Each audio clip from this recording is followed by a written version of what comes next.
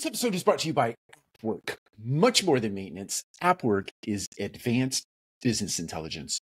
You can streamline your maintenance workflows and keep an eye on the leaderboard as service team members enjoy the gamification of maintenance. If that sounds interesting, visit appworkco.com. That's appworkco.com and transform your productivity today. Welcome back to the Multifamily Collective. My name is Mike Brewer, and today I wanted to talk about, I wanted to do a book recommendation. Now, this is an old book, and this is a book that I pick up from time to time, especially as I'm entering into various negotiations in uh, in my life, uh, no matter what the topic may be. But this book was written back in 1981. It's called Getting to Yes. Uh, and or I think it was published for the first time in 1981, and then it's been published several times since then. I think this is a third or fourth updated and revised edition. But I think that many people think about this book as the gold standard for negotiation. And I think it it really does hit on all the highlights of negotiation. I love the first line in the book. It says, like it or not, you are a negotiator.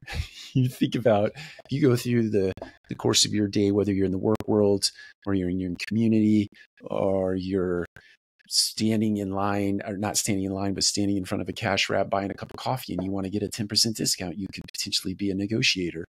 Uh, and I think that I think the negotiation really is uh, as much an art as it is a science. And I think that this book really lays out some fundamentals of negotiation that are important and easy to pick up and easy to grasp and easy to make application of. And so, for the things I'm just reading off of the back cover, you're negotiating with humans, and then there is a problem. Every human has a need or an expectation. And I think it's really important in negotiation, as this book lays out in detail, is to understand what each person wants or needs out of the negotiation before you actually have the negotiation. So you're separating problem and you're putting pure definition to that, and you're understanding the particular players and their wants and needs and desires in that discussion.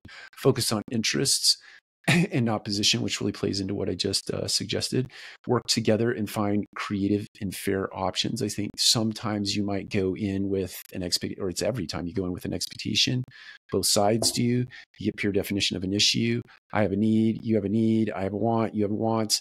And somewhere in there, we figure out that there might be third or fourth or fifth scenarios that might be beneficial to both sides so that you can actually get to an outcome. And then the fourth thing is negotiate successfully with anybody at any level. So, final portions of the book are really laying out tips, tricks, and tactics uh, that you can employ in your life as it results or as it relates rather to negotiation. So I give this book high marks. I read it a long time ago. I do pull it out from time to time just to refresh. And the reason why I'm talking about it today is that I'm going through some negotiations uh, in my personal life, professional life, and I am just refreshing that negotiating muscles so that I can make sure that I get uh, I get good outcomes for all parties when we go through these negotiations. So that's it. Take care. We'll talk to you again soon. And I want to give one more hat tip to AppWork for sponsoring today's episode.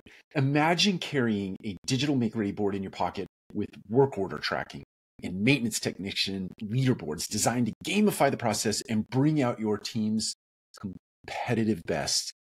As a reminder, if that sounds interesting, you can go to appworkco.com. That's appworkco.com today to learn more.